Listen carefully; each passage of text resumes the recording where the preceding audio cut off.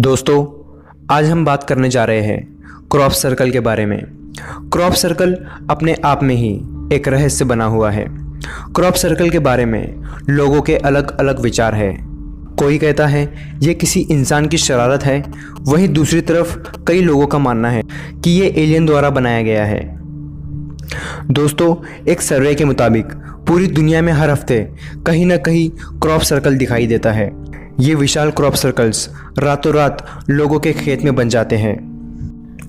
इतने विशाल काय crop circles को देखकर ऐसा नहीं लगता है कि कोई भी इंसान इतने सटीक तरीके से रातों रात इतना विशाल क्रॉप सर्कल बना सकता है। लेकिन क्या सच में इन क्रॉप सर्कल्स को एलियन ने बनाया है? दोस्तों, पहले क्रॉप सर्कल्स सिर्फ़ यूनाइटेड स्टेट में पाए जाते थे, लेकिन धीरे धीरे ये कई देशों में पाए जाने लगे। पहले इस अजीब घटना को क्रॉप सर्कल्स के नाम से नहीं जाना जाता था। कहते हैं कि उन्नीस सौ सड़सठ में ऑस्ट्रेलिया के तलिश शहर में एक किसान ने पहली बार एक उड़न तस्तरी को वहाँ से गुजरते हुए देखा था। जब वो किसान उस जगह पहुँचा जहाँ से वो यूएफओ उड़ा था, वहाँ का नज़ारा देखकर वो हैरान रह गया। उस जगह की घास कुछ अजीब तरह से मुड़ी हुई थी, जैसे कि वहाँ की घास को किसी ने ज़मीन में मोड़कर दबा दिया। उस किसान ने उस घटना के बारे में पुलिस को बताया। पर पुलिस ने इसे कोई प्राकृतिक घटना बताकर कोई जाँच नहीं की। इस तरह पहली बार इतिहास में क्रॉप सर्कल के बारे में पता चला। दुनिया में क्रॉप सर्कल्स अक्सर घास के मैदानों में पाए जाते हैं। इस तरह 1970 से लेकर 90 के दशक तक इन क्रॉप सर्कल्स का पाए जाना बढ़ने लगा और अक्सर किसी न किसी खेत में ये पाए जाने लगे। अजीब आकार में दिखने वाले ये क्रॉप सर्कल्स हर बार अलग अलग आकृति में नज़र आते हैं। और कुछ क्रॉप सर्कल्स में तो गणित के समीकरण भी पाए जाते हैं।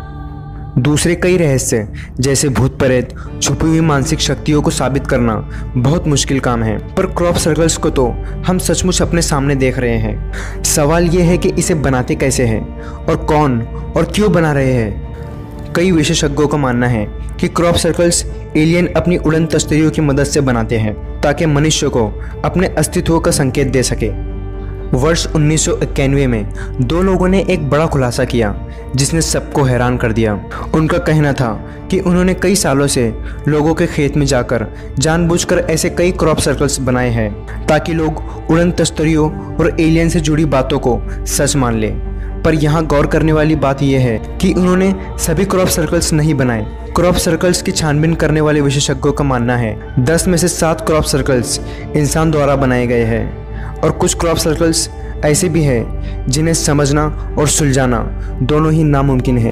क्रॉप सर्कल्स अपने नाम के हिसाब से अक्सर गोल ही पाए जाते हैं। बहुत कम क्रॉप सर्कल्स हैं जो किसी और आकार के होते हैं। पर आश्चर्य की बात यह है कि इतने सालों में किसी ने भी ना किसी इंसान को और ना ही किसी एलियन को ये क्रॉप सर्कल्स बनाते हुए देखा है। इंसान की समझबूझ और पाए गए सबूत अब तक ये साबित करने में असफल रहे हैं कि ये क्रॉप सर्कल आखिर इंसान द्वारा बनाए गए हैं या किसी एलियन का संदेश है। दोस्तों, आज के लिए बस इतना ही। अगर वीडियो अच्छा लगे तो प्लीज़ लाइक कर दीजिए।